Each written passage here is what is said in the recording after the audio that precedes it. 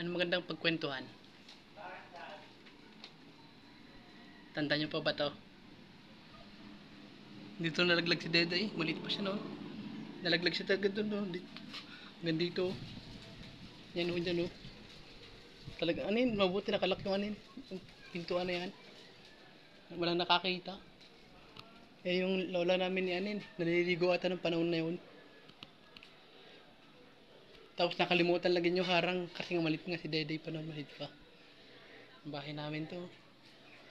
Alam ko walang, walang, walang nakatira dito ngayon eh. Kaya, kaya pagkakataon ko na.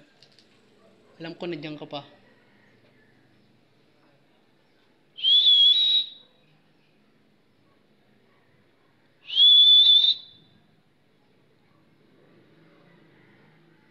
Nasa isang sulok ka pa rin ha. Nandiyan ka pa rin pinaglagyan ko dati ha. Oh? Hindi ka makawala ano? Huh. Diyan ka na lagi. Kala matakot ako tayo. Hindi. Ay, dati ano yun? CR pa to. Durog na pala to. ano itong bahay na to? Banda. Likod siguro niya ano, nilakarin niya. Yan o. Abandonado na yan o. Dito maganda maglaro. Kala ko saan ka pupunta eh. Abandonado yan. Kaso, baka ba binibenta rin to? Pwede ibenta rin. Hindi nga.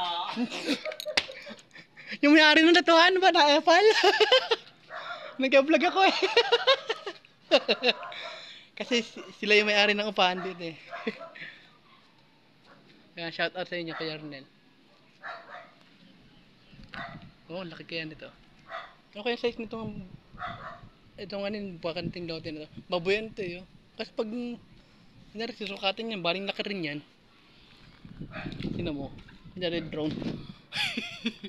Wala pa akong drone eh. Di ba?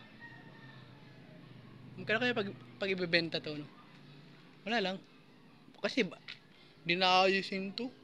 Ganto na to nung dumating kami. Kasi dati may bubong pa pala to. Yung kami dito nakatira pa. Matagal din kami nakatira dyan. Kaya yung kaibigan ko nandyan pa yan. Gusto mo makita yung kaibigan ko? Matakot kayo pag nakita niyo yun. Sa coping kayo noon. Ah. Kaya yung mga taga panglan dyan, ay ah, bahala kayo. Yung panglan ay anin, malapit sa linang. Pag naglabasan yan eh. Para ko si Naruto. Tala ko pa si, ano, si ano, Akatsuki. Akatsuki, labing dalawa. Ako, baka times 2 pa yun.